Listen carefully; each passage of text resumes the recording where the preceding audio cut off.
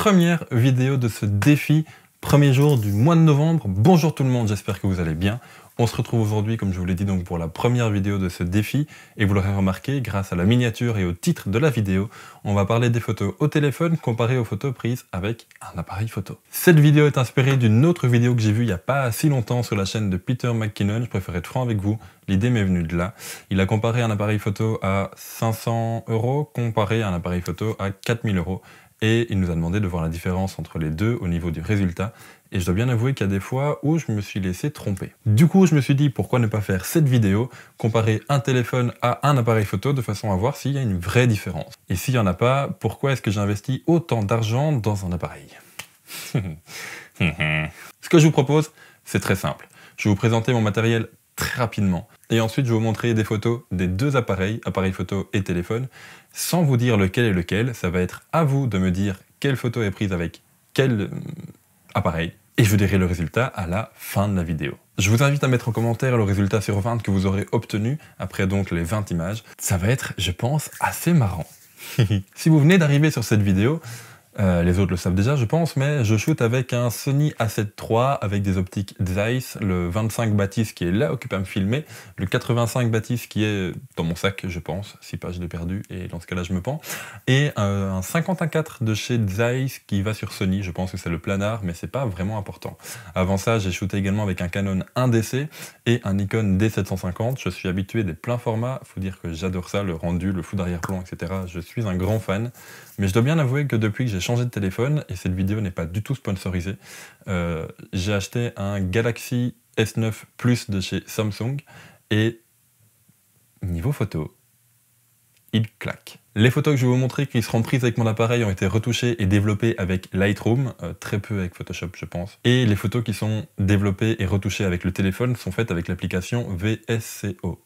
C'est une application que je vous recommande hautement, j'allais dire hautement, mais ce mot n'existe pas, mais bon voilà. Euh, VSCO est une application juste terrible. Il y a un côté payant qui peut être cool, mais c'est pas obligatoire. Euh, moi, je l'ai acheté depuis deux mois maintenant. Il y a quelques filtres en plus et quelques options de réglage en plus qui, pour moi, ça vaut le coup. Mais bon, voilà, même l'application gratuite, même le côté gratuit est vraiment très sympa. Donc voilà, vont suivre une vingtaine d'images, soit prises avec le Sony A7 III avec les optiques 25 et 85 de chez Zeiss, le Sony étant à 2300 euros, euh, le 25 mm étant à 1200 euros en neuf, et je pense que le 85 c'est 1200 également. Bah, vous faites le calcul, 2003 hein. plus 1002. On est sur un combo à 3500, 3600 euros. Comparé à un téléphone, c'est pas le plus basique, on est bien d'accord, mais un téléphone à 800 euros. Bon, c'est parti, vous êtes prêts à jouer? J'espère que vous allez jouer sincèrement, et je vous rappelle, mettez le résultat en commentaire, ça sera assez marrant à voir.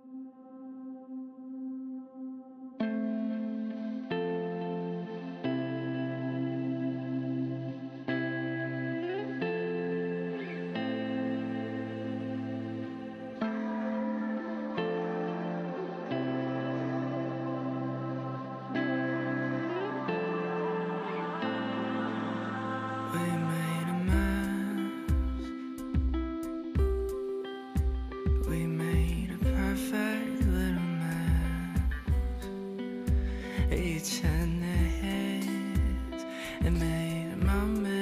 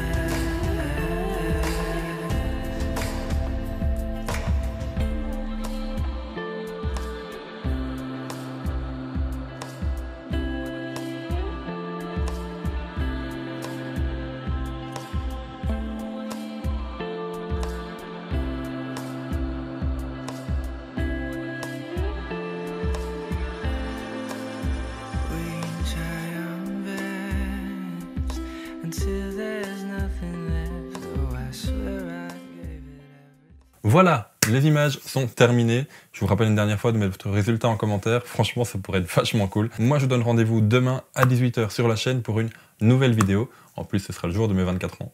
Ça pourrait être cool. D'ici là, passez une bonne soirée, passez une bonne journée demain et on se retrouve demain soir à 18h. Ciao